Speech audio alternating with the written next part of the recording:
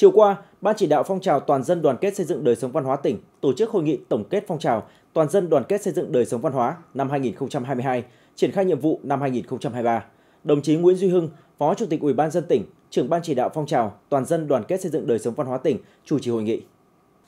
Năm 2022, toàn tỉnh có 92,2% số gia đình văn hóa, 89,7% số thôn tổ dân phố văn hóa, 92% số cơ quan đơn vị doanh nghiệp đạt chuẩn văn hóa. Nếp sống văn minh trong việc cưới, việc tang và lễ hội được thực hiện nghiêm túc.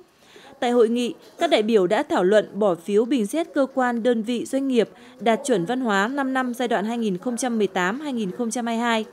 ghi nhận và biểu dương những kết quả đạt được của phong trào toàn dân đoàn kết xây dựng đời sống văn hóa, đồng chí Nguyễn Duy Hưng, Phó Chủ tịch Ủy ban nhân dân tỉnh yêu cầu trong thời gian tới, Sở Văn hóa Thể thao và Du lịch là cơ quan thường trực cần tham mưu giúp tỉnh kiện toàn ban chỉ đạo phong trào toàn dân đoàn kết xây dựng đời sống văn hóa, củng cố kiện toàn và đưa các hoạt động của ban chỉ đạo các cấp tiếp tục đi vào nền nếp, tăng cường công tác tuyên truyền vận động nhân dân thực hiện nếp sống văn hóa, nhất là nếp sống văn minh trong việc cưới, việc tang và lễ hội, tổ chức biểu dương khen thưởng các tập thể cá nhân có nhiều thành tích xuất sắc, tiêu biểu tạo khí thế thi đua sôi nổi để nâng cao chất lượng hiệu quả phong trào toàn dân đoàn kết xây dựng đời sống văn hóa, góp phần vào sự nghiệp phát triển kinh tế xã hội của tỉnh.